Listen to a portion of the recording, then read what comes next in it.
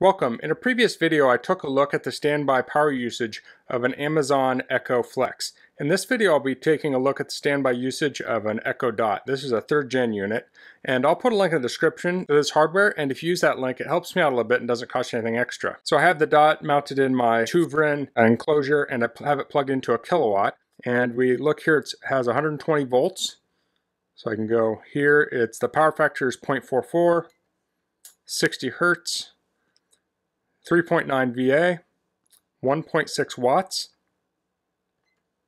and 0.03 amps. So if we go to the cost, we have $0 an hour, and this has been plugged in, I think, three hours maybe. And so it hasn't accumulated any cost yet. And this is set up for 9 cents per kilowatt hour, which is around what I pay. Nothing per day.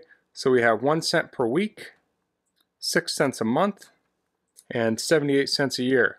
So this gave the exact same energy usage as the Echo Dot Flex.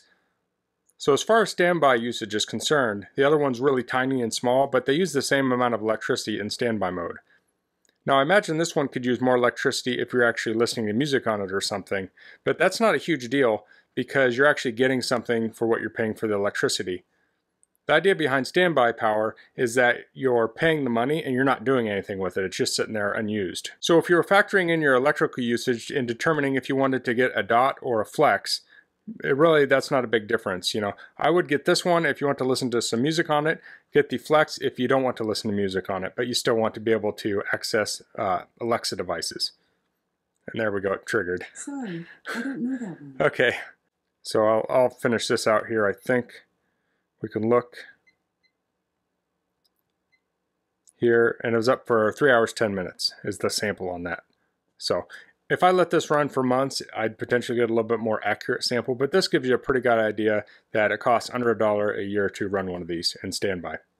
So that's all for this video. If you have any questions, please leave them in the comments. If you like this video, please click like. If you haven't subscribed to my channel, I'd appreciate if you could do that. And thanks for watching. Until next time, goodbye.